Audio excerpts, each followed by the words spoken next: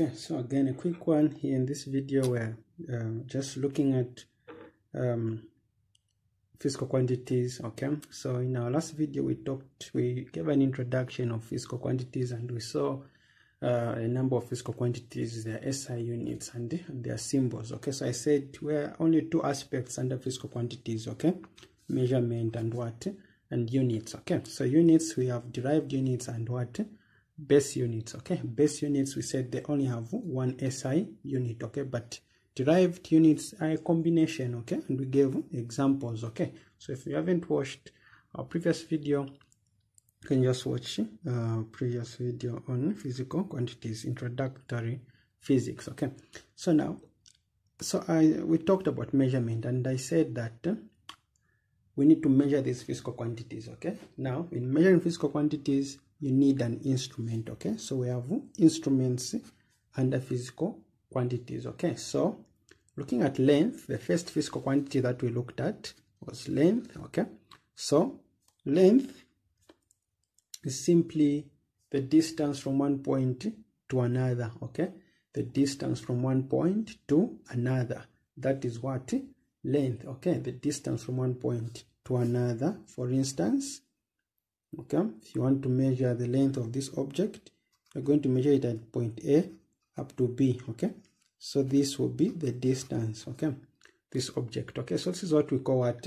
We call length okay? So now when we're measuring length okay there are several types of instruments that we can use okay? Number one instrument that we can use is the meter rule okay? The meter rule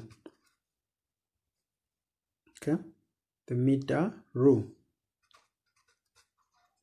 okay the meter rule so each and every instrument that we have okay that we use in physics it has some degree of error okay? It has some degree of what? Of error okay? So for instance under a meter rule there are two types of errors that we can encounter okay? Two types of errors that we can encounter. We have the zero error okay? The zero error and we also have what we call parallax okay? Parallax what? Errors okay? So now the zero error okay? The zero error this one usually occurs okay? When your meter rule is not starting at what? At zero okay? When it's not starting at zero. Or when you don't count starting from zero okay?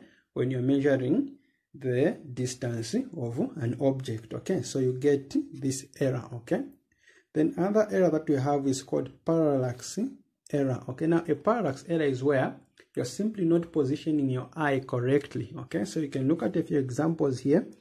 Okay, um, so the first diagram there shows where the eye was placed. Okay, it's being blocked by the object. Okay, the other one shows it's on top of the object. Okay, and the correct or the right way of placing your eye when you want to measure the distance okay of an object using a meter rule it's uh, the last diagram there okay? So the other one can come when there's no contact okay between the margins of a rule and your object okay? So the diagrams here show uh, this okay? The first diagram there you can see there's a gap between the object and the meter rule okay? The other diagram there you have your meter rule which is what tilted. So all these are simply errors that you can encounter and we call them what? Parallax what? Errors, okay? They are called parallax what? Errors, okay? So a measuring instrument can give um, precise, okay, but not accurate measurements. So, so we need to bear this in mind when we're using any instrument, okay? For example, a rule, a meter rule, it will give us the precise measurement but not an accurate what? Measurement okay? So the difference between precision and accurate okay? So precision there's a definition there how close the measured values are to each other okay? So for instance you first you try you find uh, 2.51 another time you try you find 2.5 okay? The time you try you find 2.52 okay? So you notice that these okay? They are close to each other okay? They are close to each other. So we call this what? Precision okay? We call this precision. Okay we call this eh, precision okay? Then another the, the other definition okay? The definition for accuracy okay? Is how close the reading is to the true value okay? How close the reading is to the what to the true value okay? So that's a meter rule okay? Another instrument okay? Let's look at some of the instruments here. You have a table there. So apart from a measuring uh, a meter rule you have a measuring tape okay? You also have uh, a vernier calipers okay? We'll look at that in the next video. Then you also have what you call the micrometer what screw gauge okay? So look at this um, uh, properly okay? So um, the vernier calipers okay the vernier calipers is an instrument that is used to measure um, we use this instrument to measure um, length okay. Now the type of length that we use when using the vernier calipers okay. The type of length that we use when using the vernier calipers okay. So here's a diagram of a vernier calipers okay. So let's look at a vernier calipers in a few minutes vernier calipers. It's another instrument that is used, okay, when measuring what the the length, okay. So vernier calipers, if you look at it there, okay, first of all, the function, okay, it is used to measure the thickness of solids and the external and internal diameter of objects, hollow objects, okay.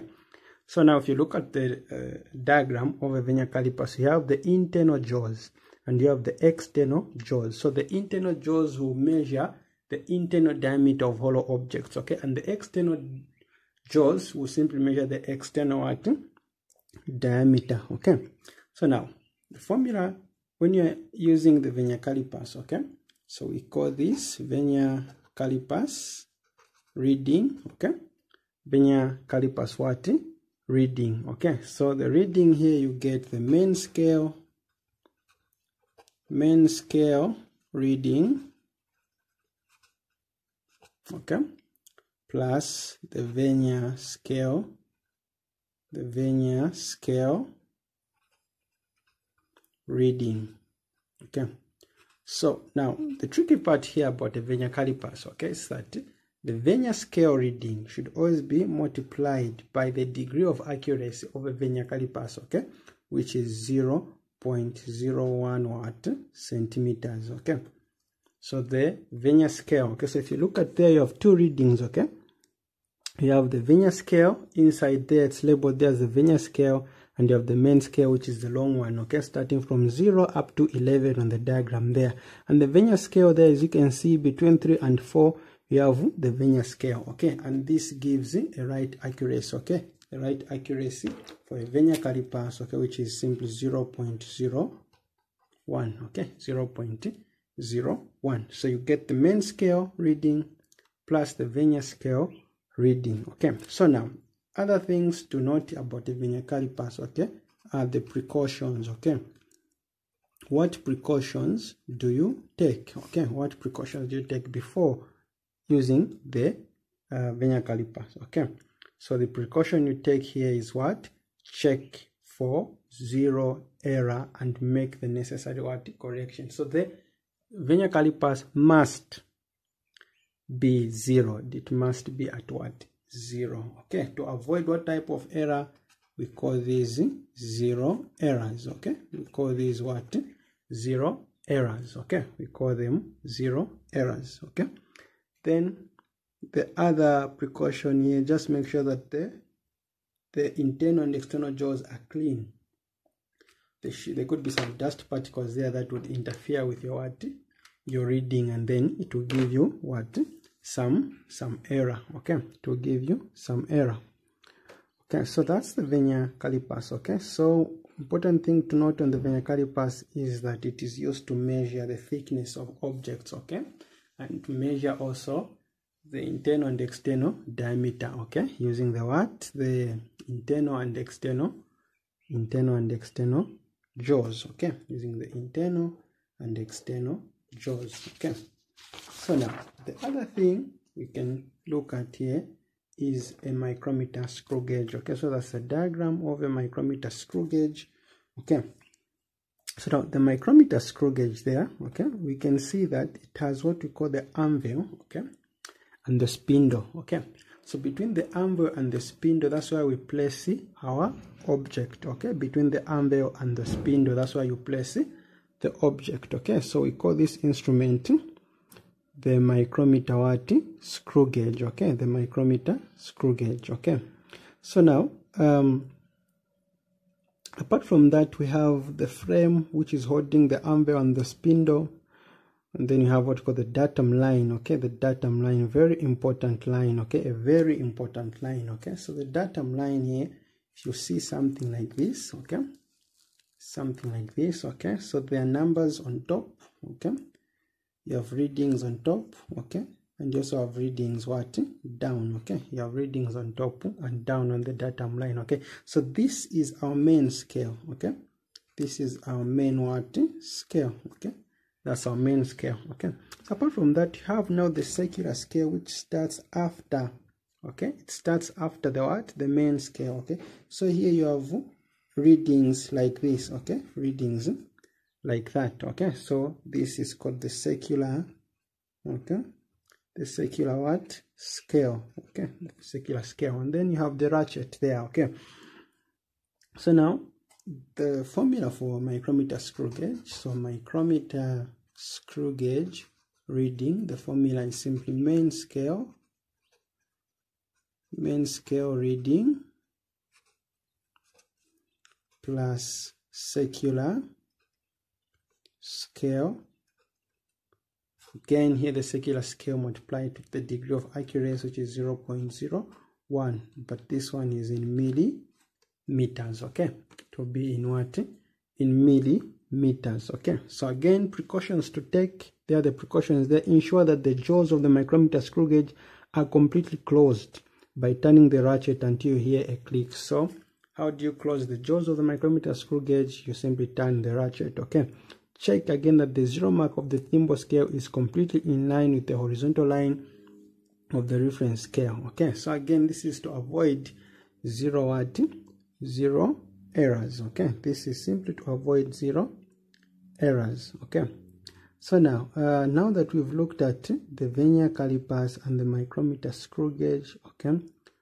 And also we've looked at the ruler okay? So now we have three instruments three main important instruments used when measuring the length okay? And that is the micrometer screw gauge the vernier calipers as well as a meter rule. You can also use a measuring cylinder okay? So now all of our uh, measurements the length okay? They have a certain what? Unit okay? They have a certain what? Unit okay? You have a certain unit. And so these units now set the SI unit for length okay SI unit for length. SI unit for length we said is what? Meter okay. In meter okay. But you find that uh, the vernier calipers is measured in centimeters okay. The micrometer screw gauge is measured in in millimeter okay so depending on what you're given okay. So this is the SI unit okay. But according to the question you can use other units under the what? The SI unit okay. So you have centimeters and what? Millimeters okay